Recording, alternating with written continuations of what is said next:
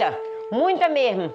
Tinha muitas vezes que elas acabam as caçoeiras, porque elas têm uns cantos que elas ficam, né? Não, que ela tiver, tiver para vir assim para as caçoeiras tirar peixe, a gente querer, Que espancar. querer espancar ela, né? Aí ela vai levar a gente. A primeira vez que eu vi, eu fiquei com medo, eu fui pescar.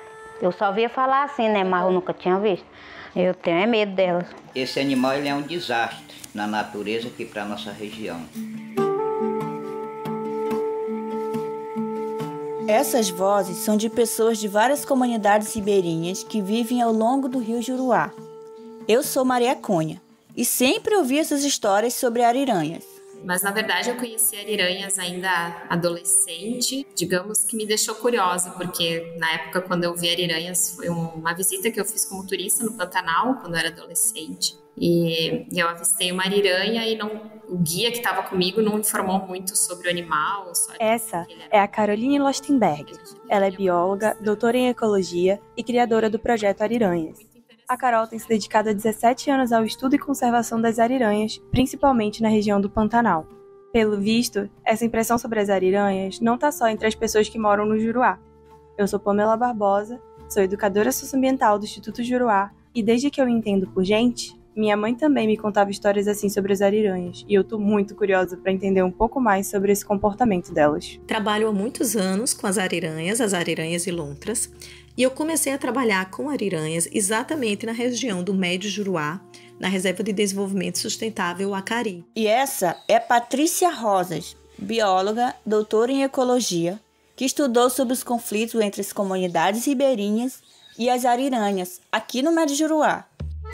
Você está escutando o episódio Ariranha da temporada Gigante dos Rios do Vozes do Juruá, o podcast do Instituto Juruá. Vozes do Juruá. Vozes do Juruá. Vozes do Juruá. Vozes do Juruá. Juruá. Nossa, enrolei toda, né, de novo? Vozes do Juruá.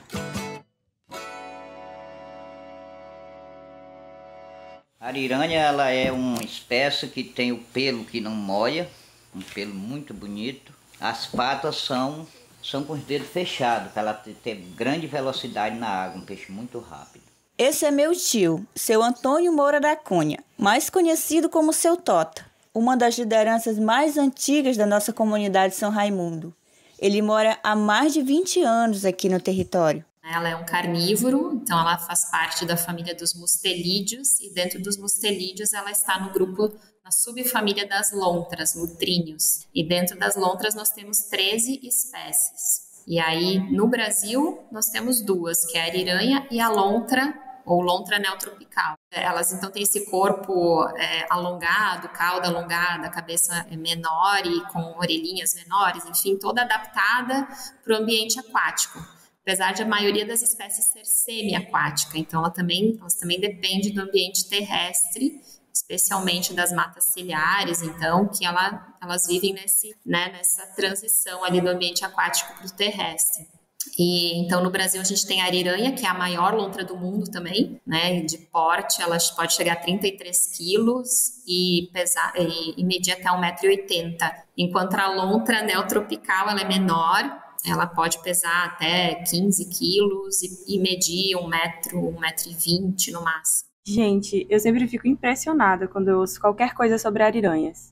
Pode parecer meio óbvio, mas nunca me dei conta de que elas eram parentes das lontras, e muito menos que existia mais de uma espécie no Brasil. Verdade, Pamela? Sabe que nem eu. Inclusive, a gente recebeu uma pergunta do Caíto, que é de Teresópolis, no Rio de Janeiro, sobre o nome dela. Por que esse bichinho tem é o nome é o nome ariranha? Boa pergunta, Caíto. Fui pesquisar um pouco sobre isso, e como boa parte da nossa língua, a palavra ariranha tem origem no tronco linguístico tupi, e ela significa onça d'água. Parando para pensar, faz um pouco de sentido, né? Elas parecem sempre espertas, atentas e são carnívoras. Inclusive, sempre me identifiquei um pouco com as ariranhas. As pessoas também dizem que eu sou meio impaciente, além de que eu amo um peixe.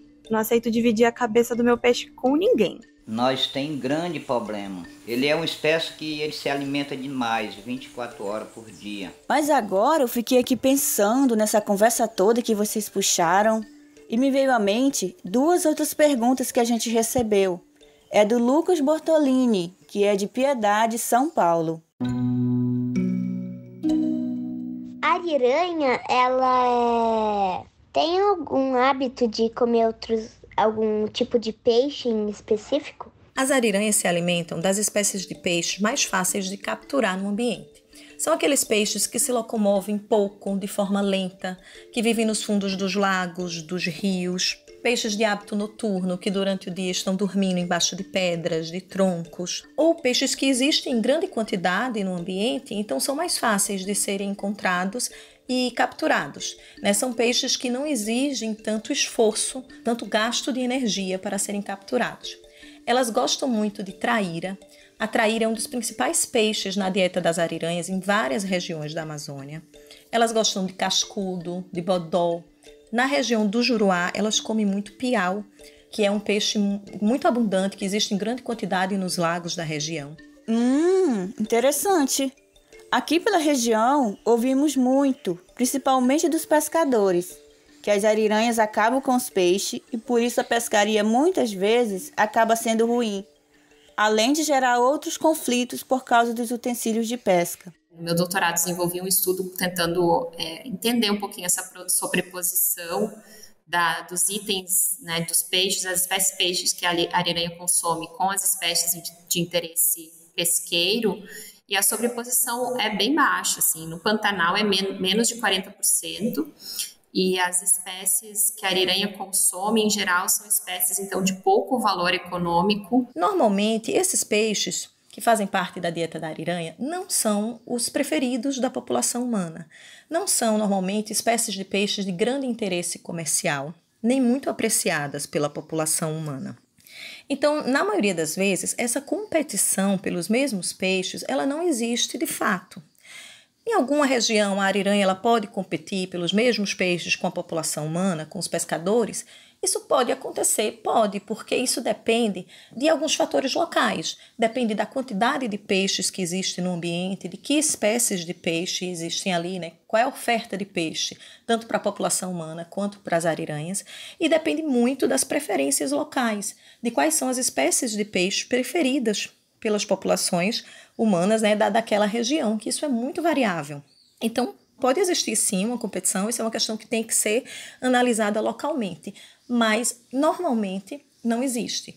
As ariranhas elas terminam sendo associadas ao conflito por serem um animal que come peixe e que chamam atenção. Já a interferência, pelo fato delas danificarem ou destruírem os apetrechos de pesca, esse é um tipo de interferência que pode ser diretamente relacionado às ariranhas, elas podem de fato destruir ou danificar os apetrechos de pesca. Isso pode causar grandes prejuízos aos pescadores. Então, nas regiões onde existe esse tipo de reclamação, esse tipo de conflito, é muito importante analisar o conflito né, localmente, é muito importante se quantificar os prejuízos causados aos pescadores para pensar em formas de compensação ou, ou medidas de mitigação né, desse problema, para se estudar né, como esse problema ele pode ser mitigado, pode ser solucionado. Né? Então, o que a gente conclui é que o conflito com as ariranhas na região do Médio Juruá, na Reserva de Desenvolvimento Sustentável Acari, era muito baseado na percepção que os pescadores têm da espécie. As ariranhas, elas são animais diurnos que vivem em grupo, são barulhentas, elas vocalizam muito, fazem barulho, principalmente quando estão pescando. Então, as ariranhas elas não são animais que passam despercebidos. Onde tem ariranha, os pescadores conhecem e veem com frequência. Né? É diferente do boto, do jacaré, né? que é um animal mais parado. O jacaré é noturno, parado, você não vê com tanta frequência, não chama atenção. Né? O boto come o peixe embaixo d'água. A ariranha, além de diurna, de viver em grupo, de barulhenta, ela come o peixe na superfície da água.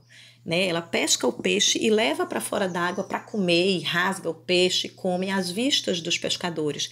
Então isso reforça a imagem dela como um animal que come muito peixe. Né? É, é uma percepção negativa no sentido de que assim ele, eles percebem as ariranhas como um animal que comem mais peixe do que de fato elas realmente comem e terminam associando elas aos problemas com a pesca. Ah, entendi. Então me parece que virou uma grande falha de comunicação e percepção entre a nossa espécie e as ariranhas, né? E que nossas relações no passado ficaram marcadas pelos conflitos.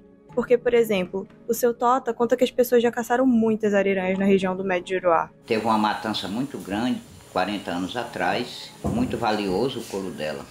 E de dois anos pra cá, ela começou, dois anos, uns quatro anos pra cá, começou a aparecer a ariranha. Eu tenho 59 anos, não conhecia esse animal. E agora passei a conhecer. Fico me perguntando então, se nas comunidades do Juruá ficou essa imagem de que elas acabam com os peixes por serem diurnas e ficam se alimentando à vista das pessoas, por que que para as ariranhas também não ficaria a imagem de que somos inimigos delas por conta do histórico de caça e quase extinção?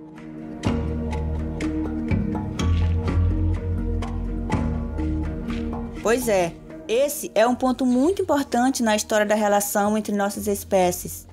As ariranhas foram uma das espécies mais caçadas na região amazônica durante o ciclo da borracha, para o mercado internacional de pele, até a proibição da caça comercial em 1967.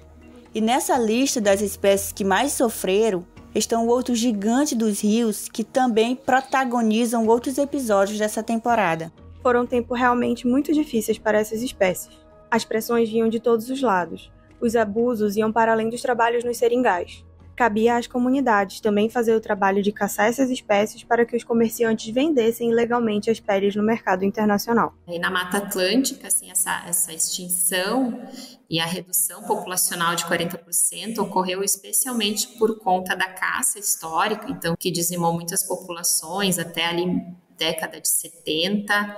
Em algumas áreas, essa, mesmo depois da proibição dessa, dessa atividade, ela, ela ainda continuou, especialmente no Pantanal, a gente ainda tem registros de caça até as décadas de 80, e foi um comércio realmente muito, que explorou muitas espécies, não só ariranha, e a ariranha não conseguiu se restabelecer em muitas áreas, especialmente devido à perda de habitat, né, degradação de habitat. E na Mata Atlântica, especialmente, então, a, a degradação de habitat e, e, muito ligado também à implementação de hidrelétricas, a mudança dessas, da, de toda, né, esses cursos hídricos, é, também, então, foi um, um fator que freou né, a recuperação dela nesse bioma depois, mesmo que a caça tivesse exterminada, né, controlada, ela não conseguiu retornar. É visível que todos precisamos negociar e nos submeter a certas situações para que possamos sobreviver.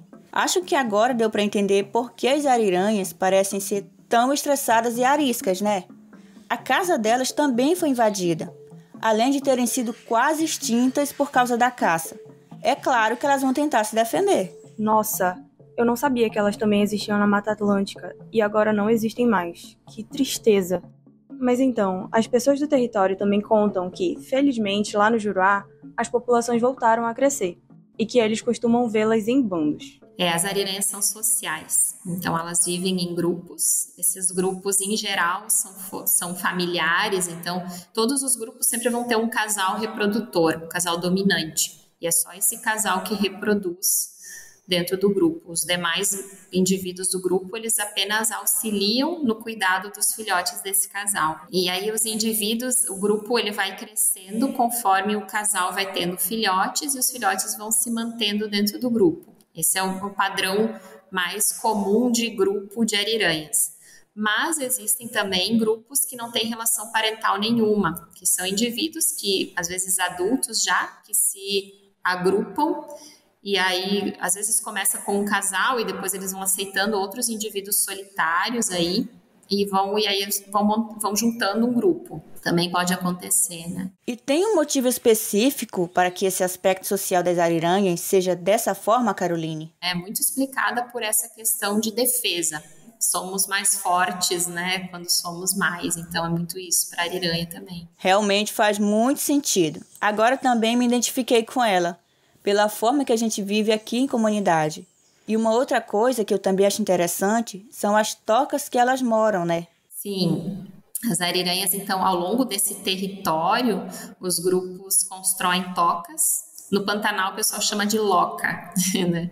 Então, essas tocas, elas escavam nos barrancos, geralmente em, área, em locais bem protegidos por raízes, por troncos, Então, uma vegetação né, que cubra essa área. E, e essas tocas, então, elas servem como refúgios para o grupo e também são muito importantes para a criação dos filhotes, porque nos primeiros meses ali de vida, os filhotes são muito dependentes ainda do ambiente terrestre, eles ficam quase um mês inteiro dentro da toca e depois que eles vão saindo e vão aprendendo as primeiras lições aí de, de desde na, aprendem a nadar, aprendem a pescar, tudo, mas eles dependem muito então de estar numa toca segura, né, que permita a eles então essa tranquilidade nesses primeiros meses de desenvolvimento. Por isso que é mais comum também que a gente encontre com ela nos lagos, por serem mais tranquilos. Na Amazônia, especialmente, elas buscam as águas mais tranquilas, né, de igarapés, os cursos d'água menores, mais, mais calmos, mais longes das vias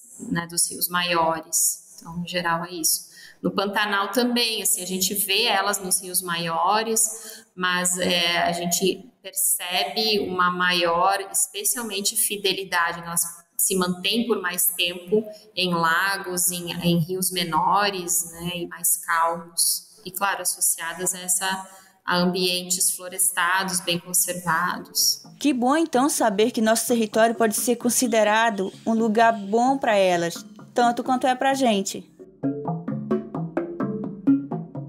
Verdade, Maria. Uma outra coisa boa também é que a Caroline, com a ajuda de muitas outras pessoas, estão tentando mudar para melhor a realidade das ariranhas em outros territórios, com o projeto Ariranhas. Ele foi criado em 2019, a partir da necessidade de se estabelecer um programa de conservação dessa espécie, que infelizmente é considerada globalmente em perigo de extinção. Quando eu terminei o doutorado, fui convidada para ser coordenadora de ariranhas da UCN, do grupo de especialistas em Londres. Acho que foi o que me motivou a realmente transformar um pouco desse o que era até então pesquisas científicas em realmente um programa de conservação para a espécie. Porque a gente vai gerando muito conhecimento, muita informação, mas ela fica no âmbito acadêmico e a gente pouco aplica do que a gente produz e efetivamente proteger, conservar ou mudar a relação homem-espécie, né? Então, eu via muito isso assim nos planejamentos de conservação que acabavam muito na teoria e pouco na prática. Muito inspirador, Caroline. Projetos como esse são muito importantes mesmo para a conservação dos animais, ainda mais quando está aliado a pessoas, né? E quais as principais ações que vocês têm feito? Hoje a gente atua em quatro frentes. É sempre, então, uma delas é a pesquisa científica e a pesquisa com certeza é fundamental para que as nossas tomadas de decisões sejam mais precisas e mais realmente embasadas, né? E depois a gente segue para a educação ambiental, buscando então essa sensibilização da, das comunidades. Também trabalhamos bastante com o meio escolar, né, com a comunidade escolar. Também trabalhamos na, com o desenvolvimento do turismo sustentável, então buscando agregar um valor para a espécie no turismo de observação da fauna silvestre. E a gente tem feito isso, então, criando diretrizes de boas práticas para observação de ariranhas nas áreas onde a gente atua e, e capacitando profissionais de turismo. Então, a gente, é, através de workshops, que sempre são direcionados e adaptados para o público, uh, que a gente vai atender.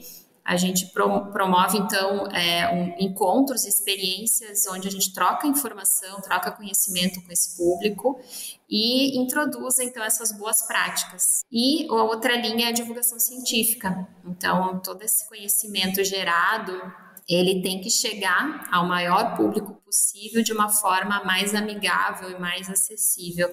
Então, a gente trabalha muito em criar conteúdo é, que realmente é, faça com que as pessoas conheçam mais a espécie e de uma forma mais cativante. Que trabalho incrível, Caroline! Mas se a caça hoje está controlada, quais são então as principais ameaças para a conservação da espécie? A degradação de habitat, perda de habitat, com certeza, assim como a maioria de, né, das, das espécies hoje ameaçadas de extinção, para a ariranha não é diferente. Então, claro que tudo que afeta o equilíbrio, a integridade biológica dos ecossistemas aquáticos continentais, ele vai afetar a ariranha dentro da área de distribuição dela. Então, hoje a poluição dos, dos corpos d'água, desmatamento, especialmente das encostas, atividades humanas como mineração, uh, barramento, hidrelétricas, né? a própria agricultura que acaba carregando muito sedimento e, e contaminantes para os cursos d'água. A gente tem acompanhado muito disso no Pantanal, que hoje a gente está né, tá tendo um avanço bem significativo de, de plantações, especialmente de soja, de outras monoculturas dentro da planície. E isso está impactando muito a espécie. A gente tem que lembrar que a ariranha é uma, por ela ser predadora de topo de cadeia, então todos esses contaminantes eles vão acumular nela, então afetando diretamente a saúde, né, desse, dessa espécie. E aí o que a gente tem visto também mais atualmente são as mudanças climáticas aí, né, todas essas alterações de ciclos, né, hidrológicos e climáticos afetando diretamente no sucesso reprodutivo da espécie. Uh, então, a gente tem visto os últimos anos aí de secas extremas no Pantanal, um impacto bem negativo para algumas populações. É, por aqui, infelizmente, nós também entendemos bem como é sofrer com os impactos das mudanças climáticas. Assim como as ariranhas, nós das comunidades tradicionais, além de ser uma das partes mais afetadas pelas mudanças climáticas, também somos peças fundamentais na preservação e manutenção dos nossos territórios. Por isso que fazer conservação na prática é mais difícil quando não se leva em consideração os conhecimentos tradicionais, né? A gente precisa fazer ciência para quem convive com a espécie. Se a gente quer conservar, a gente precisa realmente envolver quem está ali convivendo com a espécie. Então, todo o conhecimento das comunidades que convivem com a espécie, ele é muito importante para a gente entender especialmente qual que é o valor que a espécie tem para essas pessoas e esse conhecimento, muitas vezes a gente já vem com uma percepção e essas pessoas nos mostram outros caminhos, inclusive de entender e compreender a espécie. Nossa, com certeza. Depois dessa chuva de informações importantíssimas sobre a vida das ariranhas, acho que é uma boa hora para a gente responder a Maia. A ariranha é perigosa? Se for, por que ela é? Oi, Maia! Então, escutando esse episódio, a gente acabou conhecendo um pouco mais sobre a vida das ariranhas. O mais importante do que ficar com a informação de que ela é perigosa, a gente entendeu que, assim como todos os seres do nosso planeta, as ariranhas estão interessadas em viver em paz. Mas para isso é importante se defender. Elas têm os peixes que elas mais gostam de comer, que na maioria das vezes nem são os mesmos que a gente gosta. E elas também se esforçam para proteger a toca delas e os lugares onde elas gostam de ficar. É o que a gente chama de animais territoriais. É, são, são animais territoriais, né? E, e elas realmente sabem se defender muito bem. Acho que estava faltando mesmo essa pecinha de informação para a gente virar essa chave na nossa cabeça. Infelizmente, talvez demore um tempo para as ariranhas entenderem que as populações humanas que estão compartilhando do mesmo território com elas não são necessariamente uma ameaça às suas vidas. Mas acho que agora a gente já consegue entender que elas também não acabam com nossos peixes e tentar enxergá-las de outra forma, né?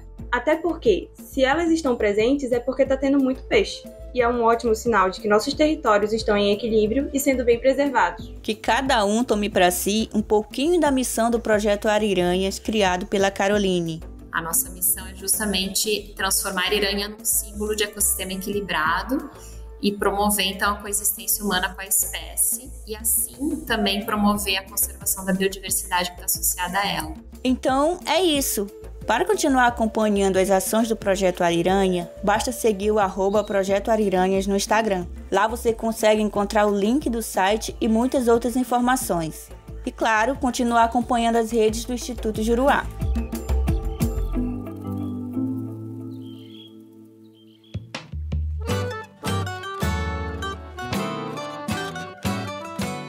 Produção dessa temporada do Vozes do Juruá foi feita por Maria Cunha, Clara Machado, Andressa Scabin e por mim, Pamela Barbosa. Eu fiz o roteiro deste episódio e a entrevista com a Patrícia Rosas. A entrevista da Caroline Lostenberger foi conduzida pela Clara e a do seu Tota pela Maria. A edição ficou por conta de Luan Alencar. Essa temporada tem o apoio da Pulitzer Center. Acesse nosso site para conhecer mais o nosso trabalho e considere doar para nos apoiar. Até o próximo episódio. Ó, oh, e se eu fosse tu, eu não perderia. Eu sou um cabra de sorte de morar no Juruá, porque tudo que eu preciso a natureza dá. Eu sou um cabra de sorte de morar no Juruá, porque tudo que eu preciso a natureza dá.